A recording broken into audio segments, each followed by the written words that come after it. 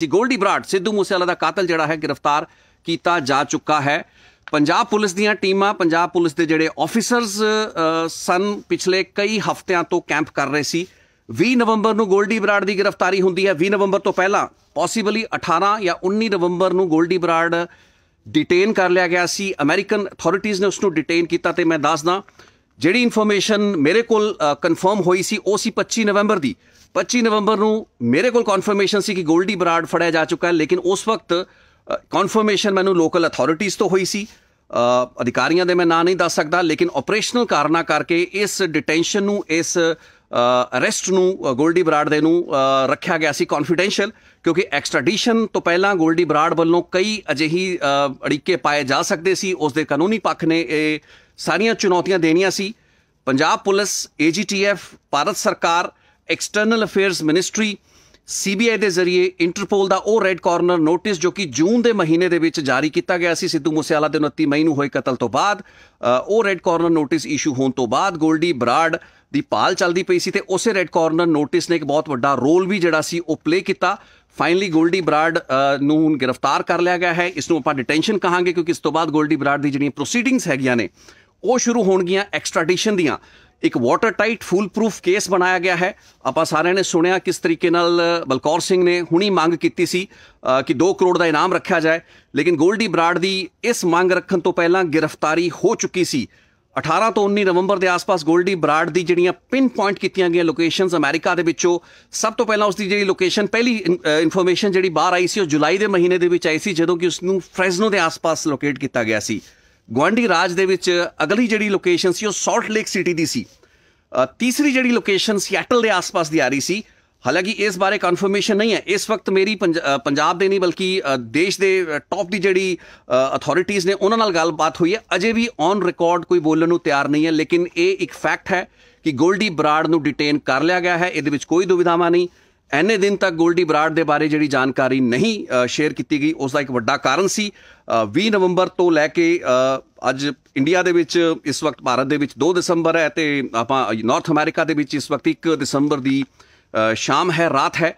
ਸੋ ਇਹ ਇਨਫੋਰਮੇਸ਼ਨ ਜਿਹੜੀ ਸੀ ਇਸ ਨੂੰ ਤਕਰੀਬਨ ਤਕਰੀਬਨ 2 ਹਫ਼ਤੇ ਦੇ ਆਸ-ਪਾਸ ਵਿਦ ਹੋਲਡ ਕੀਤਾ ਗਿਆ।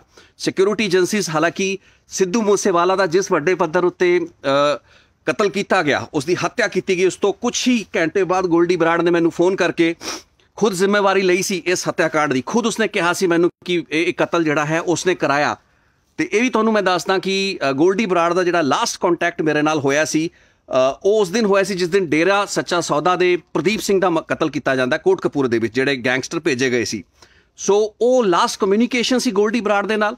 ਗੋਲਡੀ ਬਰਾਡ ਉਸ ਤੋਂ ਬਾਅਦ ਭਗੌੜਾ ਤਾਂ ਚੱਲਦਾ ਹੀ ਪਿਆ ਸੀ, ਲੇਕਿਨ ਉਸ ਤੋਂ ਕੁਝ ਹੀ ਦਿਨਾਂ ਦੇ ਵਿੱਚ ਵਿੱਚ ਚੁੱਕ ਲਿਆ ਗਿਆ। ਗੋਲਡੀ ਬਰਾਡ ਵਾਸ ਅਰੈਸਟਡ ਇਹਦੀ ਆਖਰੀ ਜਿਹੜੀ ਵਾਰਦਾਤ ਸੀ, ਜਾਂ ਇਸੇ ਗੈਂਗਸਟਰਾਂ ਵੱਲੋਂ ਕੀਤੀ ਗਈ ਸੀ, ਉਹ ਕੋਟਕਪੂਰਾ ਦੀ ਹੀ ਉਹ ਘਟਨਾ ਸੀ, ਜਿੱਥੋਂ ਕਿ ਗੋਲਡੀ ਬਰਾਡ ਜਿਹੜਾ ਸੀ, ਉਸ ਨੂੰ ਗ੍ਰਿਫਤਾਰ ਕੀਤਾ ਗਿਆ। ਸੋ ਗੋਲਡੀ ਬਰਾਡ ਦੀ ਜਿਹੜੀ ਗ੍ਰਿਫਤਾਰੀ ਹੈ, ਉਹ ਇੱਕ ਬਹੁਤ ਹੀ ਮਹੱਤਵਪੂਰਨ ਡਿਵੈਲਪਮੈਂਟ ਹੈ ਕੋਈ ਛੋਟੀ ਪ੍ਰਾਪਤੀ ਨਹੀਂ ਹੈ।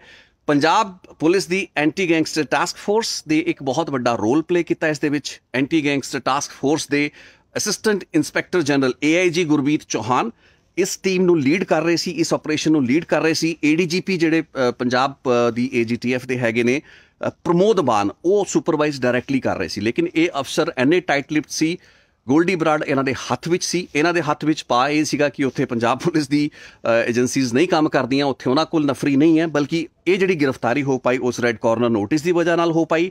ਉਹ ਰੈੱਡ ਕਾਰਨਰ ਜਿਹੜਾ ਨੋਟਿਸ ਸੀ ਉਸ ਨੂੰ ਐਗਜ਼ੀਕਿਊਟ ਕੀਤਾ ਯੂਐਸ ਏਜੰਸੀਜ਼ ਵੱਲੋਂ ਜਾਂ ਯੂਐਸ ਪੁਲਿਸ ਵੱਲੋਂ, ਅਮਰੀਕਾ ਦੀ ਜਿਹੜੀ ਸਥਾਨਕ ਜਿਹੜੀ ਪੁਲਿਸ ਸੀ। ਸੋ ਉਹਨਾਂ ਨੇ ਇਹਨੂੰ ਡਿਟੇਨ ਕਰ ਲਿਆ ਸੀ ਤੇ ਇਹ ਹਵਾ ਜਿਹੜੀ ਹੈ, ਇਹ ਵੀ ਬਾਹਰ ਨਹੀਂ ਨਿਕਲਣ ਦਿੱਤੀ ਗਈ। ਤੁਸੀਂ ਸਮਝ ਸਕਦੇ ਹੋ ਕਿ ਕਿੰਨੀ ਨੇੜਤਾ ਦੇ ਨਾਲ, ਕਿੰਨੀ ਬਾਰੀਕੀ ਦੇ ਨਾਲ ਇਸ ਆਪਰੇਸ਼ਨ ਨੂੰ ਪਲਾਨ ਕੀਤਾ ਗਿਆ ਸੀ। ਅੱਜ ਜੋ ਮੀਡੀਆ ਦੱਸ ਰਿਹਾ ਹੈ, ਉਹ ਤਕਰੀਬਨ 12 ਜਾਂ 13 ਦਿਨ ਪੁਰਾਣੀ ਜਾਣਕਾਰੀ ਹੈ, ਲੇਕਿਨ ਆਪਰੇਸ਼ਨਲ ਕਾਰਨਾ ਕਰਕੇ ਗੋਲਡੀ ਬਰਾਡ ਦੀ ਇਸ ਡਿਟੈਂਸ਼ਨ ਨੂੰ, ਇਸ ਅਰੈਸਟ ਨੂੰ ਰੱਖਿਆ ਗਿਆ। ਪੋਸੀਬਲੀ ਇਹ ਸੰਭਵ ਹੈ ਕਿ ਕਲੀਅਰੈਂਸ ਜਿਹੜੀ ਹੈ ਹੋ ਚੁੱਕੀ ਹੈ। ਹੁਣ ਅਥਾਰਟੀਆਂ ਮੰਨਦੀਆਂ ਨੇ ਕਿ ਹੁਣ ਇੱਕ ਅਜਿਹਾ ਕੇਸ ਪੇਪਰਵਰਕ ਬੜਾ ਜ਼ਰੂਰੀ ਹੁੰਦਾ। ਤੁਸੀਂ ਸਮਝਦੇ ਹੋ ਸਾਡੀ ਇੰਡੀਆ ਦੀ ਪੁਲਿਸ ਜਿਹੜੀ ਹੈ ਜਾਂ ਇੰਡੀਆ ਦੀ ਜਿਹੜੀਆਂ ਸਿਕਿਉਰਿਟੀ ਏਜੰਸੀਜ਼ ਨੇ, ਉਹਨਾਂ ਲਈ ਕਈ ਵੱਡੀਆਂ ਵੱਡੀਆਂ ਚੈਲੰਜਸ ਹੁੰਦੇ ਨੇ। ਕਿਉਂਕਿ ਇਹ ਪੋਸੀਬਲ ਸੀ ਕਿ ਗੋਲਡੀ ਬਰਾਡ ਹੱਥ ਵਿੱਚ ਆ ਗਿਆ, ਲੇਕਿਨ ਉਸ ਨੂੰ ਕਿਵੇਂ ਸਾਬਤ ਕਰੋਗੇ? ਕਿਉਂਕਿ ਗੋਲਡੀ ਬਰਾਡ ਦੀ ਆਇਡੈਂਟੀਟੀ ਕੀ ਹੈ? ਜੇ ਗੋਲਡੀ ਬਰਾੜ ਸਤਵਿੰਦਰਜੀਤ ਸਿੰਘ ਗੋਲਡੀ ਬਰਾੜ ਦੇ ਨਾਂ ਨਾਲ ਅਮਰੀਕਾ ਦੇ ਵਿੱਚ ਰਹਿ ਰਿਹਾ ਹੁੰਦਾ ਪੋਸੀਬਲੀ ਉਸ ਨੂੰ ਲਿਆਣਾ ਔਖਾ ਸੀ। ਲੇਕਿਨ ਇਹਦੀ ਬਹੁਤ ਵੱਡੀ ਸੰਭਾਵਨਾ ਹੈ ਕਿ ਗੋਲਡੀ ਬਰਾੜ ਕੁਝ ਲੋਕ ਕਮੈਂਟਸ ਕਰ ਰਹੇ ਨੇ ਕਿ 2 ਕਰੋੜ ਦਾ ਕਮਾਲ।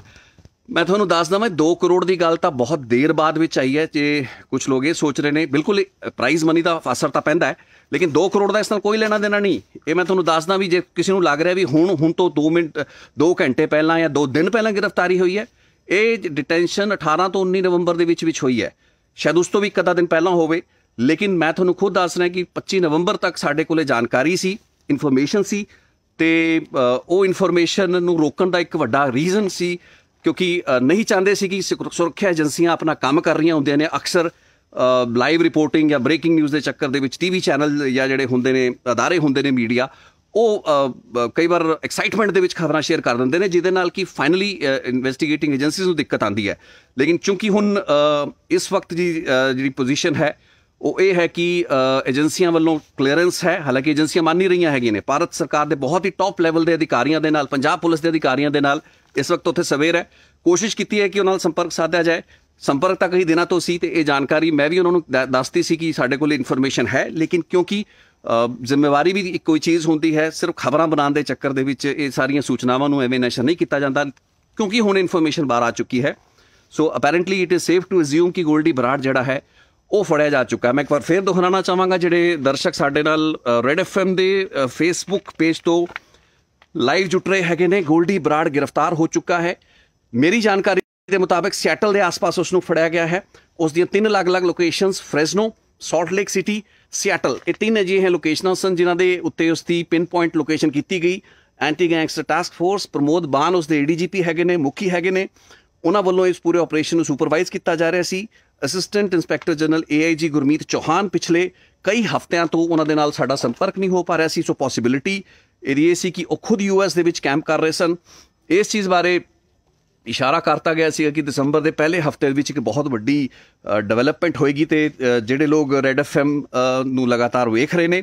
ਕੁਝ ਦਿਨ ਪਹਿਲਾਂ ਮੈਂ ਇੱਕ ਚਰਚਾ ਹੋਈ ਸੀ ਜਿਸ ਦੇ ਵਿੱਚ ਇਹ ਜ਼ਿਕਰ ਕੀਤਾ ਸੀ ਕਿ ਤੁਸੀਂ ਆਉਣ ਵਾਲੇ ਦਿਨਾਂ ਵਿੱਚ ਵੇਖੋ ਕਿ ਕਿੱਡੀ ਵੱਡੀ ਖਬਰ ਨਿਕਲ ਕੇ ਆਏਗੀ।